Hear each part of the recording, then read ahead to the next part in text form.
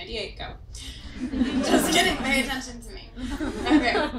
Um, okay. So my coming out story: mashed potatoes, overcooked stuffing, and an antibiotic-infused butterball turkey.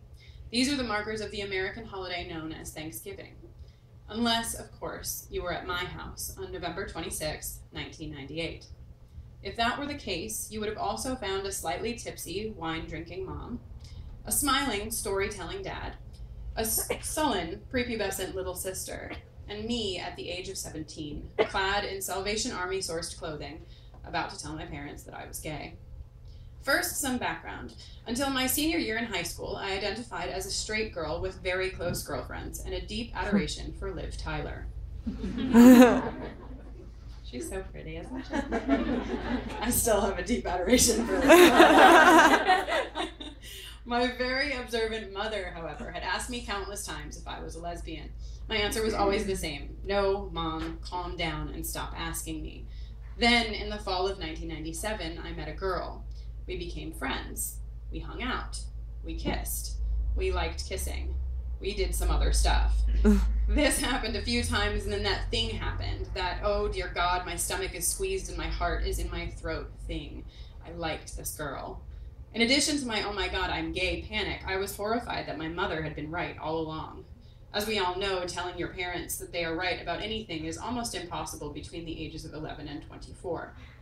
Mm-hmm. I didn't breathe a word of my gayness to anyone but my close friends for almost a year, which brings us back to the Thanksgiving Day surprise. Once my sister had left the table, I began to complain about an awful translation of the Bible that, been, that had been given to me by a relative. I said something like, They make it sound like God hates gay people, but that's a load of BS. Also, I never said BS. I said bullshit, but I didn't write it in the book. So, you know what I mean? Who says BS? Maybe me in four years, but at that point I didn't. My mom looked up from her stuffing, her eyes troubled by my angry tone, and asked for the hundredth time, Kristin, is there something you want to tell us? then it just happened. I dug my fingers into my palm, mustered up as much teenage courage as I could, and answered, Yes, I want to tell you both that I'm gay. Silence. The first thing that my parents said to me, and the thing I will always remember, was that I was their daughter and they would always love me. For that I was and still am very thankful. After this initial reaction, however, my mother began what would be a very long journey in reconciling her love for her child with her deeply instilled religious beliefs. The first few years were very hard. My mother and I fought a lot. She cried a lot, and I yelled even more. Through all of it, though, we never stopped loving each other. Over time, the yelling calmed into a dialogue. She allowed herself to meet my girlfriend. Our conversations progressed, and she began to ask me questions. Slowly, girlfriends were invited over for dinner, and my mother and I found common ground amid differing beliefs. The thing about coming out is that it isn't one moment at a Thanksgiving dinner table. It's a process that takes patience, understanding, and compassion. It's different for everyone.